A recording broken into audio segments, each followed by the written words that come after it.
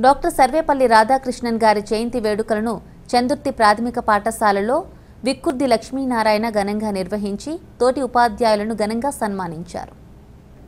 ఈ సందర్భంగా వారు మాట్లాడుతూ ఉపాధ్యాయ వృత్తి ఉన్నతమైనదని అజ్ఞాన అంధకారాలను తొలగించి విజ్ఞాన కాంతులను విద్యార్థుల్లో ప్రతిబింబించే నిరంతర శ్రామిక జీవి ఉపాధ్యాయుడు అని అన్నారు. సర్వేపల్లి రాధాకృష్ణ గారు రెండుసార్లు ఉపరాష్ట్రపతిగా మరియు రాష్ట్రపతిగా సేవలందించి ఉపాధ్యాయులు తరగతి గతికే కాకుండా అత్యుత్తమమైన పదవులను కూడా అధిరోహించగలరని నిరూపించాడు అని అన్నారు. భారతదేశ మొట్టమొదటి మహిళా ఉపాధ్యాయురాలు అయిన సావిత్రిబాయి పూలే గారి జయంతిని జనవరి మూడున మహిళా ఉపాధ్యాయ దినోత్సవంగా జరపాలని వారు కోరారు.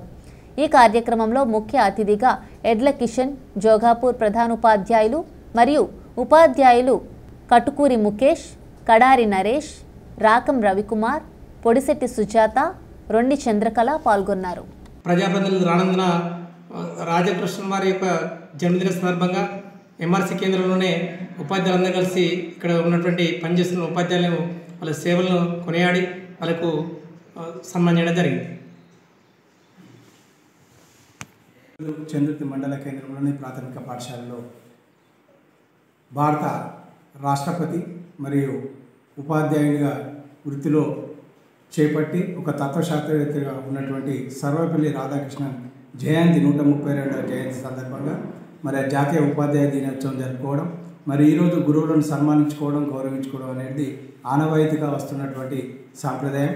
నిజానికి ఈరోజు గురువు అనేవాడు అజ్ఞానమనే చీకటి నుండి పారదోలి వెలుగుని ప్రసాదించేటువంటి వ్యక్తి.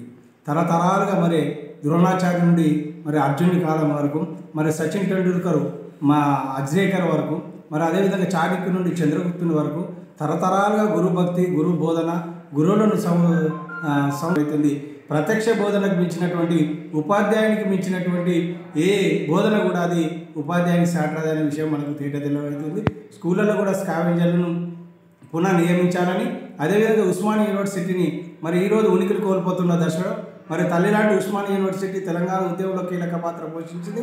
అలాంటి బడుగు బలహీన వర్గాలకు ఈరోజు ఉస్మానియా యూనివర్సిటీ ఎంతోమందికి జీవితాలు ఇచ్చినటువంటి మరి యూనివర్సిటీని కాపాడుకోవాల్సిన అవసరం ఉంది.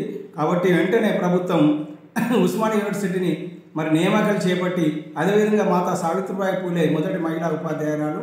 ఆమె జనవరి జనవరి మూడును కూడా జాతీయ మహిళా దినోత్సవంగా ప్రభుత్వం నిర్వహించాలని ఈ వేదిక ద్వారా డిమాండ్ చేస్తుంది.